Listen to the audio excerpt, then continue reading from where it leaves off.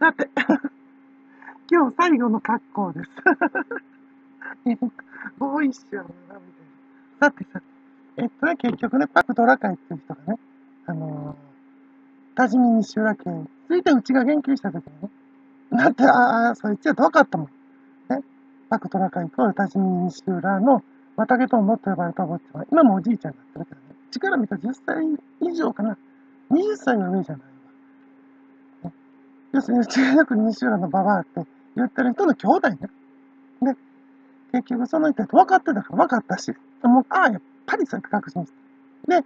じゃあ結局そのパクトラカイは、おお、多治見に西浦っておんのかって、それ君とどういう関係なんや？その人物どういう履歴の人なんや？教えてくれって書いてね。で、まあ、うちはそのパクとラカイとの関係から、いや、だってパクがうちに対して女装、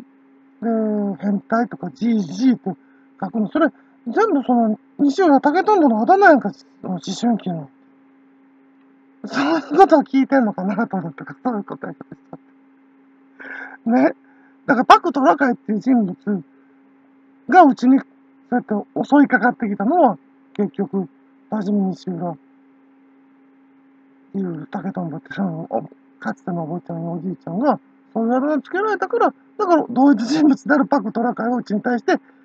その、多治見西浦のお坊ちゃま、要するに竹とんぼってあだ名かな、の人の言われてきたあだ名を再三いつまでしつこく言うんですよ。それご自分が言われたあだ名じゃないですかって。それが結局、その西浦っていう人物の履歴について説明しろって言われた時の返事として最適やったんけど、ひょっとしてあれかな、多治見西浦家は、あの、税源であり、税源頭で、林丹波の大、大官、多治見の大官、林丹波っていう旗本の部下の、その、税源頭で、遊郭を仕切ってて、で、結局明治以降は、まあ、河川の地主に化けていったっていう暴力団である。しかし、その明治の、その、初代多治見町長もし、そして、多治見町議長組合会頭した。そういうことをうちにつらつら言ってほしかったかな。それは自分で言ったよね。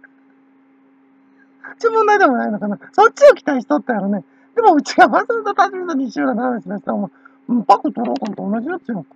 別にあのね、悪口うちに言わんかったら、そんな思い出しませんかったし、ほんで、そういうこと指摘しませんかったやんか。だからさ、質問するときにその、あの、気をつけなあかんち問題じゃなくて、その、相手に何か頼むときはっていう意味でもなくて、そういうノリでもなくて、そういうようなニュアンスでもなくて、その、相手に説明してもらいたいんでしょうけど、例えば。だけど、なんでわざわざこんな情報出してきたんやってとこを考えないと、その、なんちゅうの？ご自分に有利な、